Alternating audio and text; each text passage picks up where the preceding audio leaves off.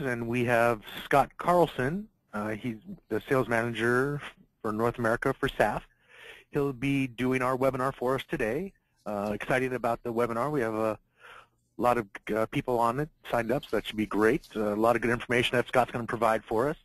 If you have any questions, which I assume everybody probably will while this is going on, you could just type the questions in the question pane, and then uh, we'll address them all at the end of the uh, at the end of the webinar. I think Scott's probably left some time to address some of the questions because I know we'll we'll have a few of them. So I'm going to turn it all over to you, Scott, and uh, take us through it. Thank you, Scott. Thank you very much, Scott, for the introduction. And uh, hello, hello, and uh, good day, everyone. Uh, my name is Scott Carlson. I am one of three sales managers who work directly here in the U.S. For SAF Tehnika, and we work very, very closely with our partnership here with Microcom. So we have put together a bit of a presentation that's an overview on the entire product portfolio as well as we do some focus on uh, a most recent uh, released product we call the FreeMile, which is a 24 gig product. And uh, I'm going to touch on uh, a bit about the company, touch on our customers a bit, uh, some things about applications. Um, hopefully I, I, don't get too salesy and uh, that I kind of keep it, you know, good technical sound information for everybody. And of course, at the end, uh, and I don't think it should take us too very long. Uh, I'd welcome questions that everybody would have. So I, I kind of uh, authored this presentation here and uh, titled it as uh, Backhaul Considerations and um, kind of positioning a discussion around unlicensed versus unlicensed.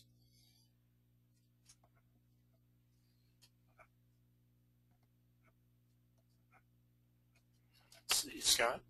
Yeah, get, getting the screen to did it, did it prompt? Well, I saw the I saw the mouse move. Go ahead and uh, try clicking whatever you were clicking before.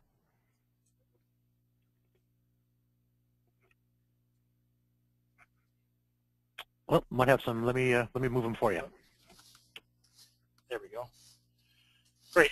Um, so we'll try again for the next slide. We'll see what happens there, but I, I think maybe it's just a little bit delayed. So anyways, uh, SAF Tehnika is a uh, manufacturer that uh, does full cycle production. We manufacture all the all the componentries and, and, the hardware casings and and uh, do the entire product uh, from start to finish. Uh, we've been in existence since 1999, so we have 10 plus years of, of true experience in building microwave products. we're publicly traded on the Euro NASDAQ with employees uh, headcount over 160. Um, and our manufacturing facility, as it says there, is in Riga, Latvia. And uh, for those that may know uh, a, a, bit about uh, that area, there is uh, quite a bit of wireless expertise between SAF Tehnika being a, a major manufacturer as MikroTik.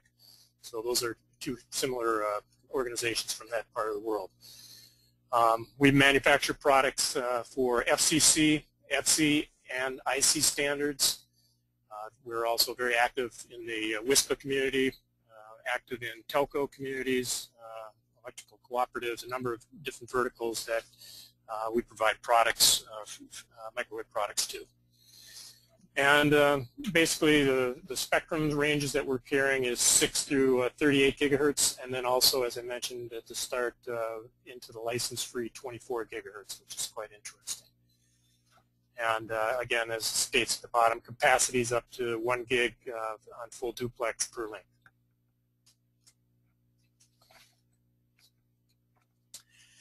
So uh, as a manufacturer, uh, as I mentioned, we, we do the full product. Uh, we do uh, what we call um, full uh, testing uh, on our products. We test every component, every, every radio that gets shipped out. We do not do spot testing. So we have an extremely high MTBF of 37 years. Um, we have been doing the outdoor, full outdoor type radio since 2002. And uh, one unique uh, selling attribute is that we do not sell software keys. Uh, these are completely open radios, and you get uh, from day one the full capacity. Um, we have uh, stocking partnerships here with Microcom. Um, we have full 724 support and sparing programs. And as many people will attest that have set these links up. They're extremely easy to configure. Uh, less than roughly 20 minutes to set a radio up. We have uh, worldwide presence, as I mentioned. We're uh, headquartered out of uh, Riga, Latvia, uh, but we have offices really throughout the world. Um, these first few are going to pop up are here in the U.S. That's in uh, Toronto, Montana, and Texas. And we have presence in Mexico, South America, Africa, and essentially locations in the Middle East uh, throughout the world. We uh, consider among our customers uh, companies like Global Crossing, Telefonica, China Mobile, and now here in the, in the U.S., Verizon. So we have a carrier class uh, type product, and uh, we also sell a lot to uh, a lot of the smaller operators as well. So this, uh, this slide will basically mention some of the uh, clients here that might be familiar to you. Um, I guess most notably uh, your U.S. military uses our product. Uh, Verizon has used it, uh, as I mentioned, Global Crossing and, and many others.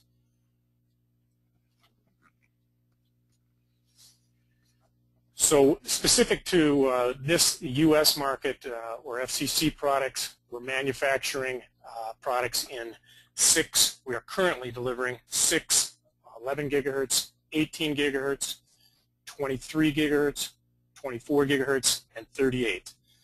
Um, as you may know or have heard that the FCC has now opened up uh, the bands of uh, 7 gigahertz and 13 gigahertz. Uh, we have been manufacturing those products for many years in the European uh, space. And now we are just uh, converting the product here into the U.S and we'll have those products uh, readily available uh, through Microcom as well.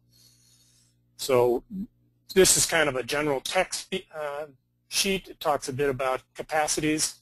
Um, we have a 106 megabit full duplex product that's available in all the FCC frequencies. We have the full outdoor product, which is the one in the middle with the red dot. That is called the Lumina. That's a 366 uh, megabit uh, full duplex product. And then we also manufacture uh, the split mount version, uh, which is called the Phoenix. And uh, the Phoenix, again, was a 363 megabit product. Um, and there's uh, some pros and cons of uh, people that want to do uh, split architecture versus full outdoor, um, which we'll kind of get into a little bit. Um, but there's also some additional capability with the Phoenix for carrying T1 traffic or TDM traffic. We have uh, all the different topologies of uh, 1 plus 0, uh, 1 plus 1 hot standby, uh, 2 plus 0. Uh, in fact, we can go all the way up to 4 plus 0 with the Phoenix, and that's where we deliver a gig, a gig plus traffic. I would point this out here to you as well. ACM switching stands for Adaptive Code Modulation that is truly uh, hitless in the shifting process so that we can uh, maintain very, very high integrity on, on uh, low latency type traffic, uh, VoIP or video, uh, that type of applications.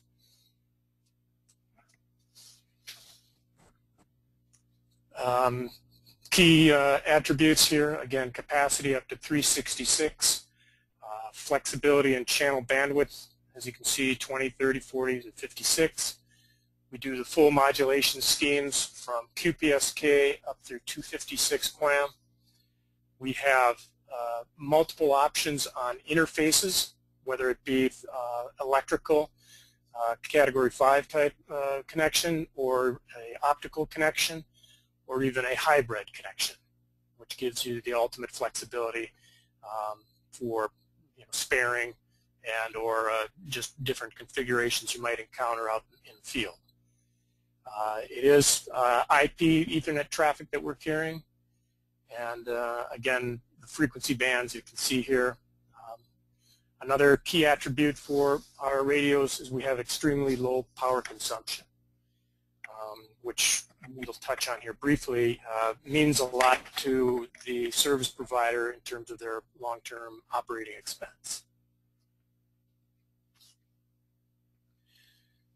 Uh, I think the key thing that I would point out uh, on the Phoenix uh, would be two things.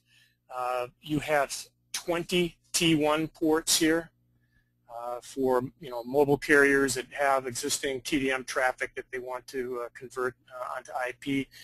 That is, both the IP and the TDM traffic are truly native traffic, so they do not take away bandwidth from the IP side, for example.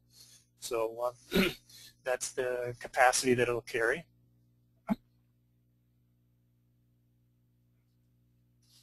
And uh, again, the whole concept of uh, the split architecture is there are a lot of folks, uh, largely from the telephone operator community, that prefer a split architecture, uh, that they prefer to have their electronics perhaps uh, down uh, in a communication shack where they can get access to it. Um, that is a, a, trend that seems to be shifting more towards the folks that want to use the full outdoor unit which is just a, a much easier product to set up and uh, again spare and things like that. Um, ACM, in case you haven't uh, familiarized yourself with it before, is the ability for the radio to withstand uh, changes in weather conditions. Uh, microwave uh, systems uh, are designed around modulation schemes, which is basically bandwidth, and uh, they're calculated against uh, rain, rain factors. So we look at a particular link in a geographical area and we evaluate what is the rain rate per hour and what is the modulation scheme that we are trying to achieve. So if we are trying to modulate at 32 uh, APSK, we at uh, what we call five nines, which is a very high availability rate. We, we design the system uh, link to perform to certain characteristics.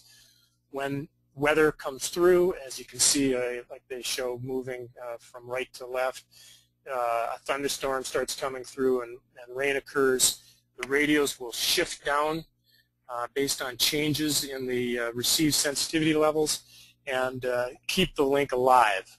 And so that's the idea of ACM. It's, it is truly hitless in that shifting process. Um, and coupled with that, we also uh, do priority steaming uh, with QoS priorities. So again, we can take and, and build links that have voice traffic extremely high prioritized at 99.995 and uh, we can kind of move through the, the scheme of, of availability rates and, and design your traffic patterns around uh, you know, appropriate uh, modulation schemes.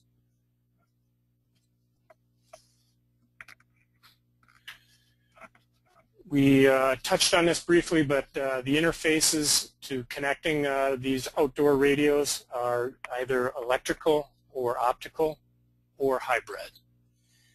So in, in some instances, uh, optical will make a lot of sense uh, because you have virtually no distance limitation on how far you can run your fiber to the, to the radio, uh, plus its immunity to electrical interference. So there are some advantages to fiber interfaces that, that have to be looked at. Um, folks that want to use just the ease of, uh, of category 5 cable that's used, then you use the electrical connection um, and of course have uh, all the appropriate lightning protection and surge arresting.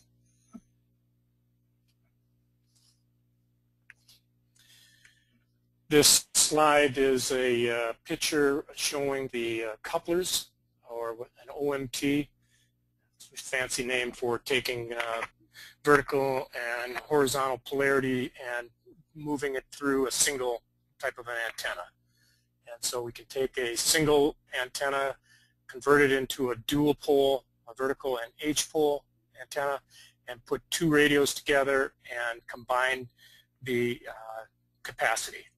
So take 366 and add a second radio and now have uh, 720 plus. So that's, that's the idea of that.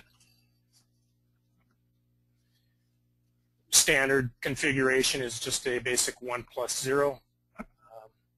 Then I think that I also have a slide here that's going to show a uh, hot standby configuration. Well, all of these uh, configurations can be set up for backup. This is a 2 plus 0 uh, running through a switch and uh, protecting uh, in case one of the radios uh, should fail. It would automatically switch over to the other radio.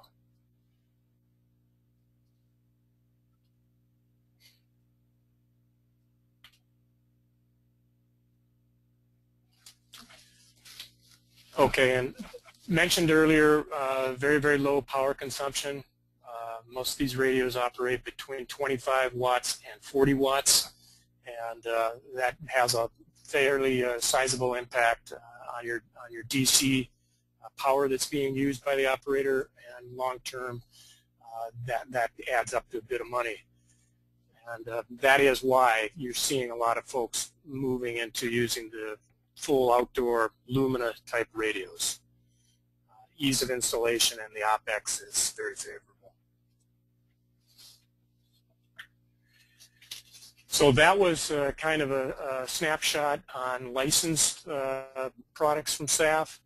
Uh, most recently, we have just uh, announced our FreeMile uh, 24 gig. the, the band of 24 gig is very, very underutilized in the in the U.S. right now, and uh, it does offer us the capability of, of uh, generating uh, microwave uh, type links uh, at 100 megabits of full duplex. And so this is an exciting product. We are in the very, very final stages of, of having the FCC ID tags issued. Uh, we have the products already built and, and are ready to be shipped into uh, Microcom's uh, warehouses. So uh, literally, uh, hopefully days away from just finalizing on, on all of that, and this product will uh, be in the U.S. So with this product, uh, again, we have 100 megabits of full duplex capability. Um, we offer two different channel widths, 10 megahertz and 30 megahertz um, which will affect the, uh, the capacity of the radio. Um, so if you're looking for the full uh, 100 megabits, then you're going to use the 30 megahertz channel. Uh, if you're looking to uh, broaden the distance, make the link go further, you may want to use a 10 megahertz channel and, uh, and get 40 megabits full duplex whatever the case, uh, whatever the calculator would tell us to use we have uh, various link calculators that we can make available to anyone's request. So uh, it, it, operates like our, our normal uh, license radios with modulation schemes running from QPSK up to 64 QAM. And uh, it's, it's notable that uh, the maximum transmit power EIRP is 32.7 uh, which you need to use uh, when you're doing your path calculations and looking at antenna sizing and distances, etc.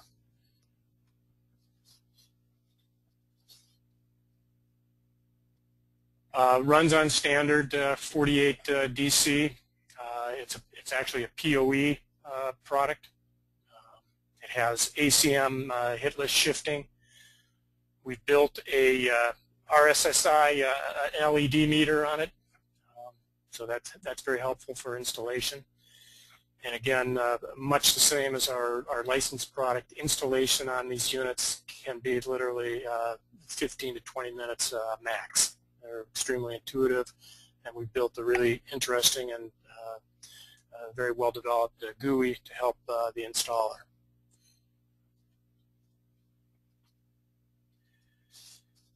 So part of the discussion when looking at a 24 gig link is to consider what you may or service or what your service providers might already be using in 5.8 gigahertz. Uh, traditional 5.8 gigahertz operate uh, with time division duplexing. That's the TDD you see. Um, so you basically are, are uh, splitting the signal up, and you, it's a asymmetrical type traffic. Uh, where these uh, operating in uh, frequency division duplexing are full duplex. So the capacity is, is substantially more when you start to consider it from a full duplex versus a time division duplex perspective. So we're, we're seeing a lot of interest from folks that have 5, 5.8 uh, backhauls in place.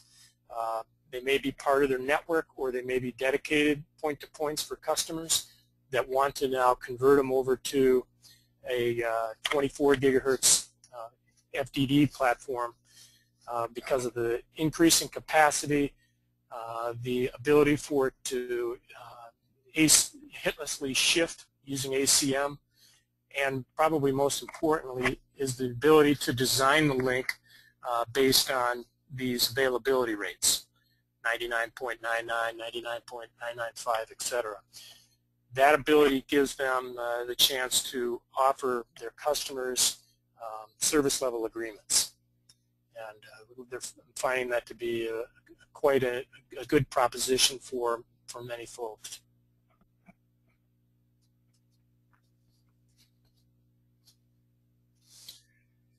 Um, again, and, and, a lot of people that are have used for 5.8 or 5 gigahertz uh, for a long time, and noise floor levels are extremely high. Uh, when you compare it to 24 gig out there in the marketplace, it's very minimal. There's not much uh, 24 gig out there in, in deployment right now.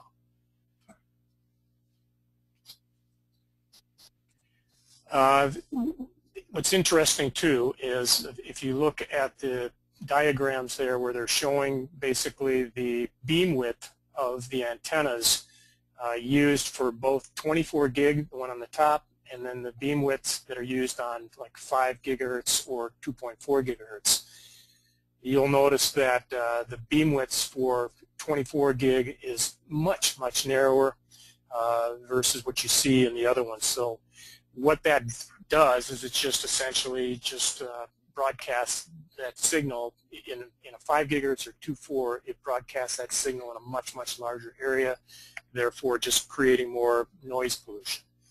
You have much better control over a narrow beam width um, than you do with a, a wider beam width.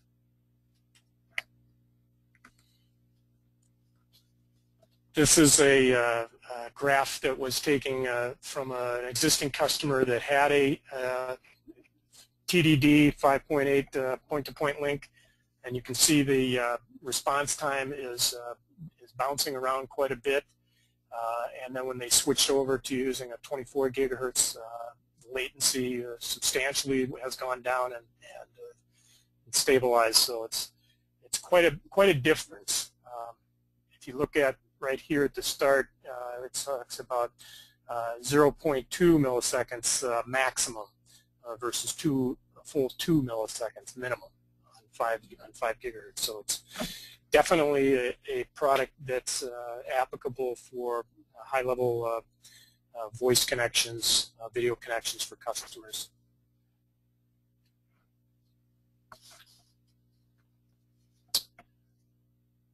Uh, gosh, I think we kind of touched on this here, uh, but it's a, a, little bit better graphic uh, about the ability for the radios to recognize changing weather conditions and downshift, and then when weather improves, they automatically shift back uh, to their original configuration.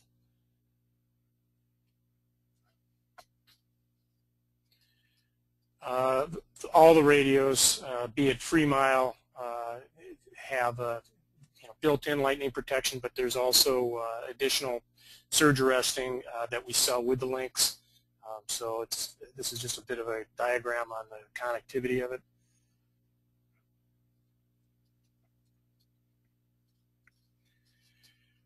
Kind of small to read, I apologize, but uh, there's this GUI uh, screen screen cap is basically the single screen that you work through to uh, configure the radio and uh, it, it, can be uh, easily accessible through uh, command line or telnetting into it.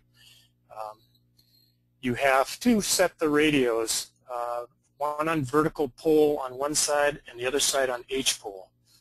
It has to do with the, the flange that's built into the radios to maximize the, the capacity essentially.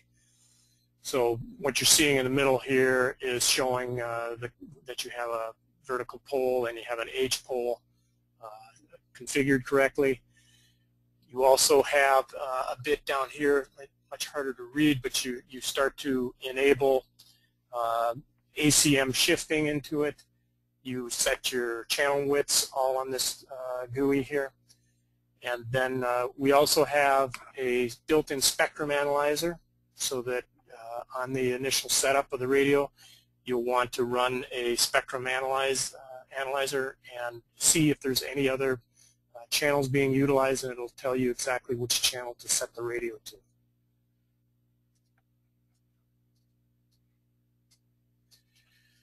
Uh, distances. Uh, the, the idea of distances in 24 gigahertz um, is always uh, you know, based around sizing of antennas, uh, weather conditions, uh, you know, your typical evaluations that you go through uh, with our standard license links as well. Um, with that said, 24 gigahertz has a much smaller transmit power than those license links and you have that limitation of 32.7 EIRP. So in general, I like to tell people, uh, no matter where they are kind of in the U.S., I, I use these as, as benchmarks. Uh, probably one mile to uh, maybe a mile and a half with one-foot antennas and getting full modulation rates to uh, moving up to a two-foot type antenna and pushing the distance between uh, two and three miles. Uh, I have customers in very arid environments uh, like in, in, Phoenix and Texas that can push uh, these radios out to you know, five, six miles. But they're in a very arid environment. They don't have um, the weather conditions that, that I think most of us see around the country. So these are just some general parameters. And uh, again, we have a, a path calculator uh, that's available that, that uh, everyone that wants one can get one. And you can uh, experiment with antenna sizing, uh, changing transmit powers, and uh, see the effect on the distance and the availability rates.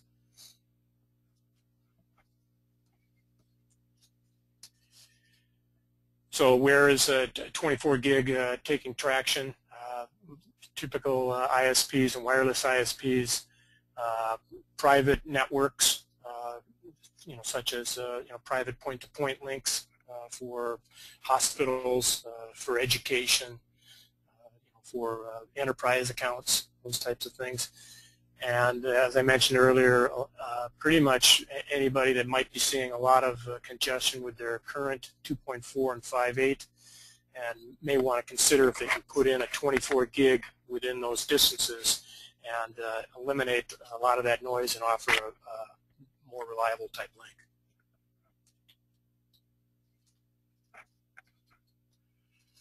So as kind of a, recap on that, on the FreeMile product, uh, full duplex, 100 megabits, also carries two T1s, um, very low inter interference uh, in comparison with 2458, uh, hitless shifting, um, very easy to set up.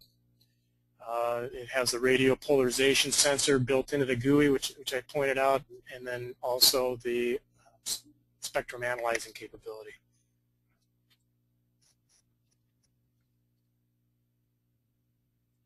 This uh, just happens to be a, a client uh, of ours that's using a combination of uh, existing Lumina license links and then also uh, spoking out with uh, more on the 24 gig for uh, private point-to-points.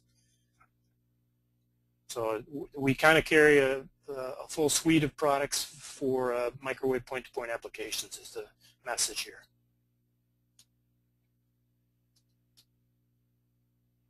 And uh, that's kind of what we put together for uh, you know your consideration. Um, I, will turn it back to Scott Stevens to queue up questions as, as appropriate. So I thank you for your, your interest and time. Oh, that was that was great, Scott. Thank you very much. Great job. Um, looks like I've got a got one question right here about about your link calculator. They uh, they wanted to know um, is it available? I mean, you said it's available to them. Is that something they send an email to you guys and you guys give them access to the link calculator, or is it something that they send you the information and you have to do the link calculations for them? Well, if if uh, you go to our website and get registered as a partner, then you will get access to, to that link.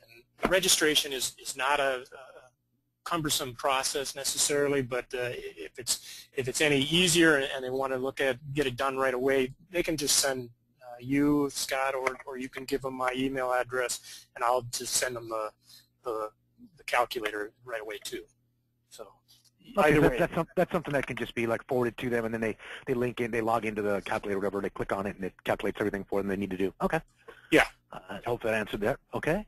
And and and you you need a little bit of familiarity t- with uh, link path calculators. Uh, it has the typical things that you would see. Uh, it'll ask you for coordinates.